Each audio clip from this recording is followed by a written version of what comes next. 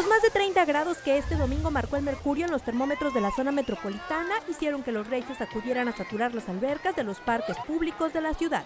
Doña Rosalba acudió con sus nietos al Parque España, a donde llegaron muy temprano para disfrutar todo el día. Pues bien, nos la estamos pasando. ¿No habían podido salir? ¿Estaba por la temperatura? Por la temperatura que hace frío de repente ya no podíamos salir. Pero ahorita ya está mejor y ya los venimos. ¿Y cómo se la están pasando? Bien, a gusto, estamos contentas.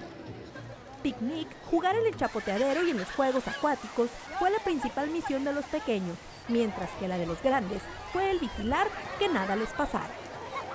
Pues no, pues apenas salimos ahora ya. Sí, porque pues no había chance de... Andaban trabajando los muchachos.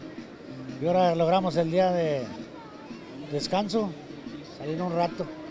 ¿Con quién vino? ¿Con quién vino? Con mi familia.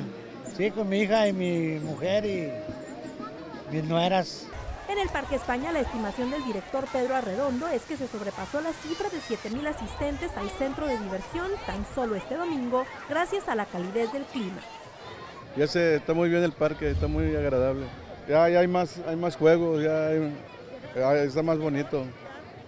¿Y no habían podido venir antes toda la semana? O... No, antes no, porque ya ve cómo ha estado el clima. Está muy, muy, cambia, muy cambiable. Y el receso vacacional de Semana Santa continuará por una semana más. Y los paseantes, sobre todo los niños y niñas, esperarán a que el clima les dé calor para poder seguir divirtiéndose en las albercas.